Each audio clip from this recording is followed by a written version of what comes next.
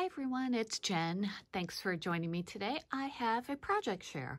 I worked on a album using mostly the Maggie Holmes Sweet Story collection and I want to share it with you.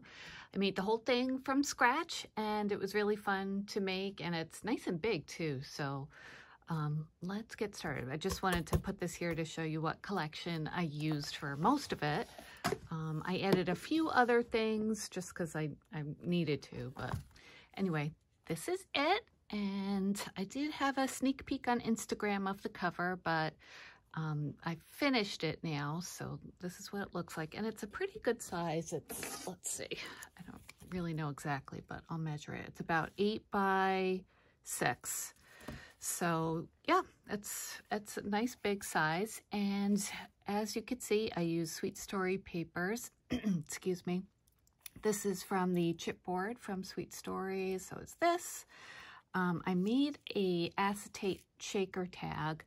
And if you watched my haul video from last week, I got some acetate pieces from the etch quill from We R Memory Keepers. So Actually, it worked out really good. I used a tag that it came with, and I just stitched stitched some tulle on top of it and filled it up with some shaker bits. And if you could see, these are, there are two little puppy stickers from Sweet Story that I just, um, I took them off and put some cornstarch on the back, and that takes the stickiness off. So, um, so it makes them just, you know, little pieces that you can, you know, put, do whatever with. So I just added them to my, my shaker because they are nice and small.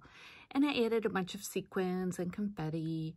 Um, this trim I'd gotten from AliExpress. I thought it looked cute with the sweet story paper and theme. Um, this is also from the chipboard. I added some glossy accents.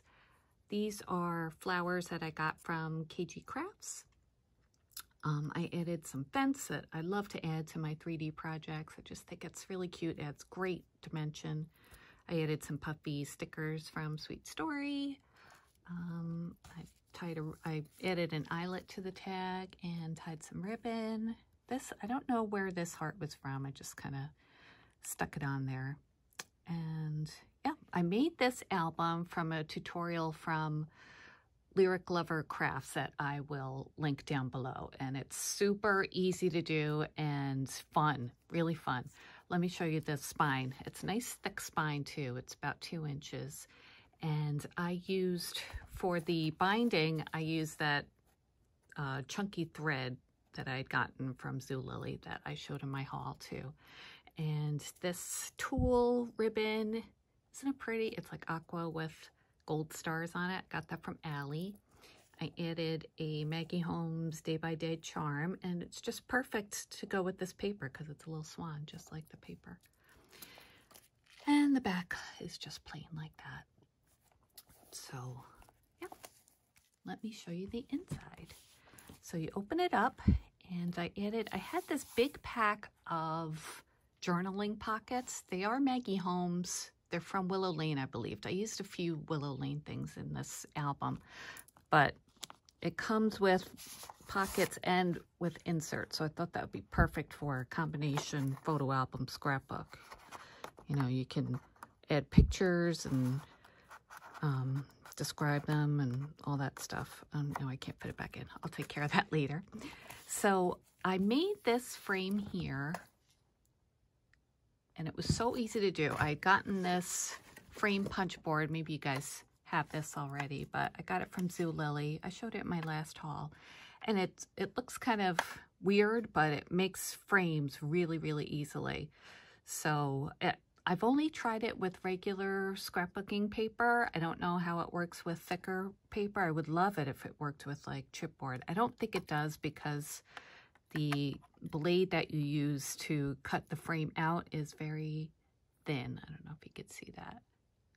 Yeah, so I'd be afraid to put that on something thicker. It might damage the blade. But anyway, it worked really good for this project. So it can make a frame that looks like this, kind of like a Polaroid, you know, with like a more space on the bottom, or you can make it equidistant all the way around. So I glued it down, and it, but I left the top open so you could slide a picture down in there. And it's nice because you can make these any size you want. So when you print out your photos, you can just, you know, print them to size. So, um, yeah, so the, what you do is, see the inside there? You just make all these folders and folded cardstock and just slide them underneath and you have an album. It's really a great way to use a bunch of paper. I use a lot of paper in this. So there are like 10 individual folders that I'll show you each. The first, this is the first one. And on the inside, I added pieces from the Sweet Story collection, made another frame here. Um, these are from the ephemera. This is a chipboard piece that I painted and I added some glitter to it as well. It was from Recollections, I think. I have like a whole bunch of different shapes. And I added some photo corners here so you could actually take this out and put in an actual photo. And that's the back. And so it alternates between a regular, just regular folder, and then the next one has pockets. And then it has a regular folder and pockets, regular folder and pockets, that sort of thing. So this is the front of the folder, the first folder, and this is the inside. I put, I'm not sure what I'm going to do with these folders yet. I mean, I'm sure they'd be good for, you know, ephemera, just mementos, things like that, if you wanted to make this a combination photo album and scrapbook. So, but for now, I just put some vellum envelopes inside them. And so that's the end of that one. And then the next folder, I put some some trim from those new Michaels bundles. And there's so many different kinds of trim. They're just perfect for this. I just added that on with Fabri-Tac. And this is a, it was either ephemera or cut apart from Sweet Story. This was from another Maggie Holmes collection, just a piece of ephemera. And that's the inside of that one. If you guys remember, I made that tag last week. And there's some places for photos. There's another one of those um, chipboard. Actually, they're more, yeah, chipboard hearts. And I painted it and added some gold pen to it. Sorry for the shadow there. Some more ephemera. Obviously, all the papers are Sweet Story, except for when I use solids. So there's that. And then this is the front page of the next folder. I just love this die. I have, it's a nesting set and it has heart a heart border. Isn't that cute? And this paper is one of my favorites in Sweet Story. And that's a piece of the chipboard.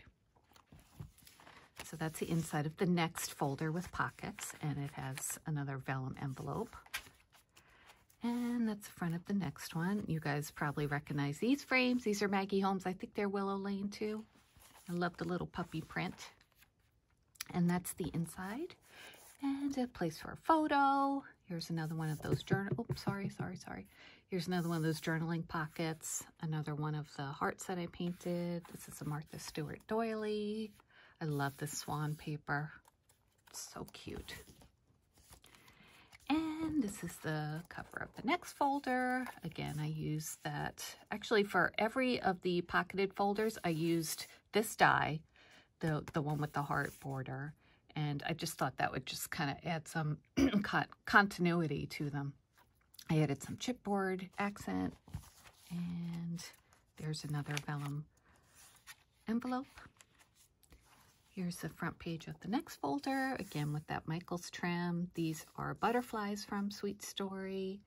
And these are some more photo corners that you could take this out if you wanted to. And the inside of this one looks like this. And this has, this was a huge journaling pocket from um, Willow Lane. I made another photo frame. And this is a piece of acetate from the collection.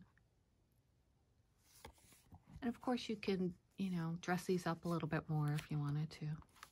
That's the next folder, again with that die cut. And I added just a simple piece of the chipboard. I love this print too, this pink one with the roses. Another vellum envelope. And this is, I think this is the last regular pocket. And I'm sure you recognize this. This is a piece of um, it's not ephemera, uh, embellishment from Willow Lane. And I just glued that on to the folder with an, another little charm from the Day by Day collection.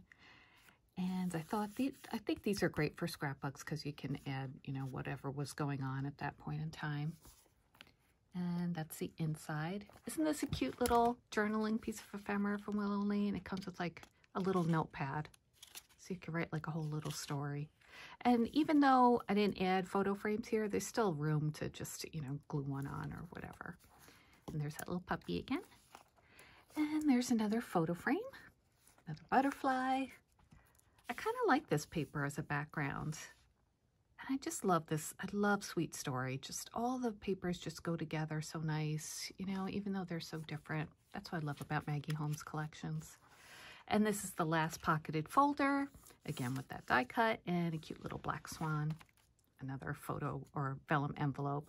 Like I said, I'm not really sure what to do with these folders, so I left them pretty blank for now. That's the inside cover. Nothing there now. And that's the back. So it was really fun to make. I'd let you can use whatever you want for the uh, for the spine or for the yeah for the spine. Like I use the the thread. Um, you can use elastic if you'd like. Now um, the tutorial she made even more folders. As you could see, I kind of doubled up uh, two threads for each folder. She did different folder for each one, so it was really thick and chunky. But I think this is big enough. I mean, this took up a lot of paper, and it's a really good size. But it's really, really easy to do. You don't need, you know, much of anything in the way of like uh, dies. You know, I, I mean, I use the frame punch board, but you don't need to use something like that. You could just put a piece of paper to, to mat your photos. Um, and you just need some chipboard and you cover it with paper and glue it all together and embellish it as much as you want. I like on the inside, you could see the little bits of trim sticking out. Love that. Tempted to add some more, which I might. So, and then I was thinking maybe I would add a closure, you know, like maybe a magnet strap or, or strip or something like that. But I don't know. I kind of like just how it looks like this. It really doesn't need one stays really nicely closed by itself. I don't know, maybe it would change if you start adding a bunch of stuff, but right now I like it like that. So that's my project. I hope you guys enjoyed the little tour and uh, please give me a thumbs up if you liked it and I'd love it if you if you'd subscribe. I'm going to come back tomorrow with another haul. Of course, I have one. Uh, it's very rare that I don't for Fridays. I think that happened once. So anyway, thanks a lot for joining me and I will talk to you guys soon. Bye.